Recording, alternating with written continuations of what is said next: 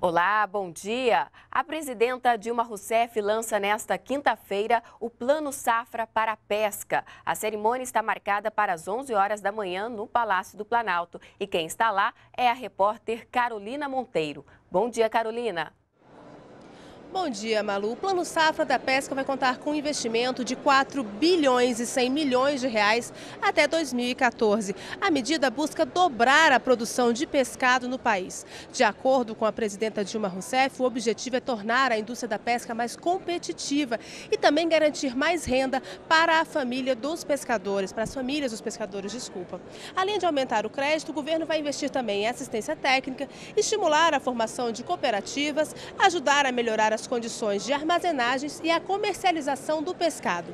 No caso da comercialização, o governo vai ajudar a garantir a venda de parte do peixe. O Programa de Aquisição de Alimentos, o PA, vai comprar até 20 toneladas de pescado por ano.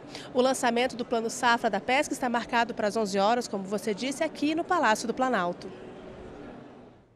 Obrigada, Carolina. E a presidenta Dilma Rousseff anunciou o lançamento do Plano Safra da Pesca na semana passada, durante a inauguração da usina hidrelétrica de Estreito, no Maranhão. Ao falar sobre projetos de inclusão social na região, a presidenta citou a produção de pescado como forma de distribuição de renda.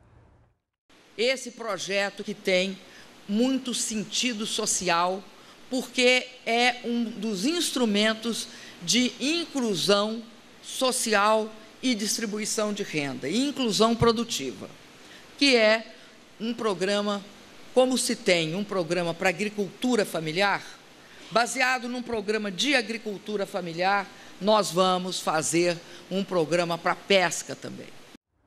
E daqui a pouco a gente volta com outras informações sobre o Plano Safra da Pesca, que será lançado hoje pela presidenta Dilma Rousseff. Continue com a gente na NBR, a TV do Governo Federal. Thank you.